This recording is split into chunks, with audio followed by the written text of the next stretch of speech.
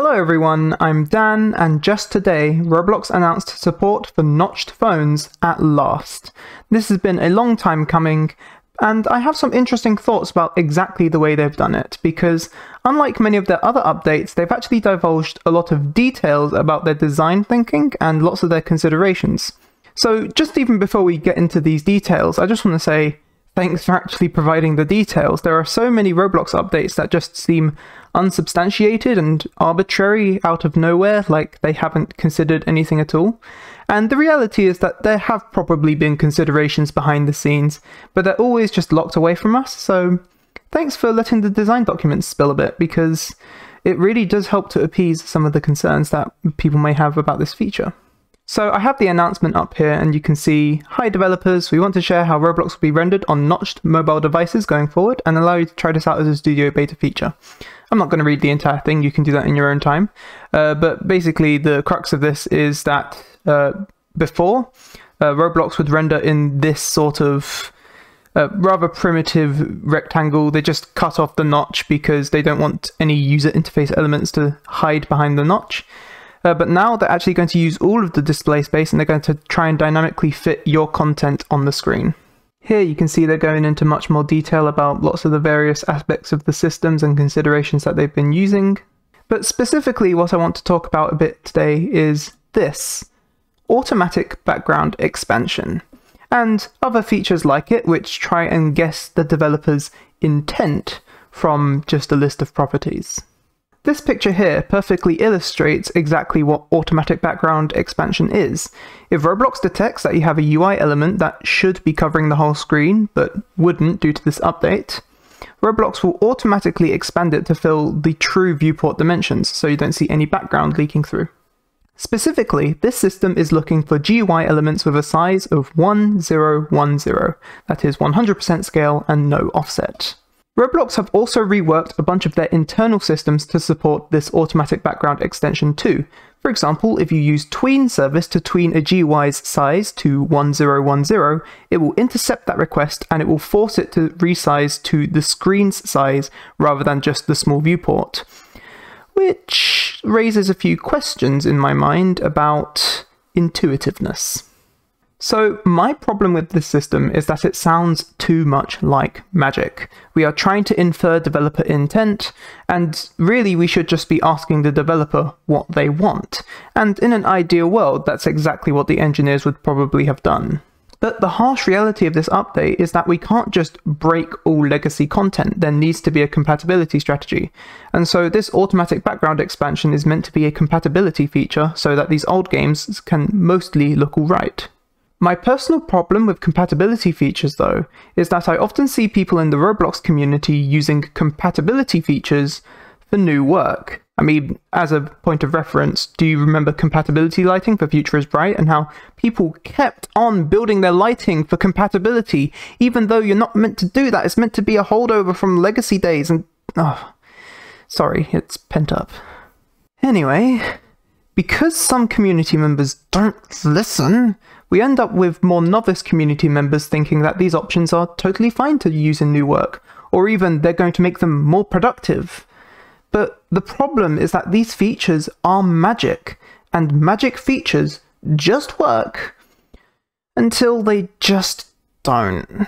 And when they don't work, you're going to be left in a debugging nightmare, and you're going to be wondering, how on earth is that happening? That's not what that should be doing because actually it's not doing that because it's magic and it decided it wants to do something else on your behalf. So now with that general background, I'd like to specifically criticize the notch update. So I think that is really good that Roblox are committing to backwards compatibility here. I don't think that it's a good idea to break old games, and Roblox are very clearly committed to not doing that. That's good. Thank you, Roblox. However, we have to acknowledge that there was a way to make this update a lot more consistent with the way that Roblox UI already works, and that would be to simply not try and retrofit old games to support new display shapes. That is to say, letterbox the games. But I did talk with a Roblox engineer about this, and apparently they did not want to do that. They wanted old games to have the full display real estate available, and they did not want to do any letterboxing. So, okay, I guess we're going to be doing automatic content adaptation. And honestly, I think if you give yourself that kind of weird restriction that you're not going to letterbox any content, this is the most reasonable solution. On one condition, and that one condition is very, very important. It is so, so important that you do not let people use these features for new work. The reason why is simple. These features are magic, they are inconsistent with the way the rest of the engine works, and they should not be used as a foundation for anything because they would be a weak, inconsistent foundation. They do not make logical sense, they do not line up with people's mental models of how anything works, they should not be used in new work. They should exclusively be in the domain of supporting legacy content for games that can't or won't be updated because the owners have been banned or left Roblox or simply aren't supporting the game anymore. That stuff still needs to be supported, but new work should be using the consistent, logical system, not the magic one. And I say this as an API designer myself. I know how people use and abuse APIs. I've seen it many times. I will continue to see it throughout my entire lifetime.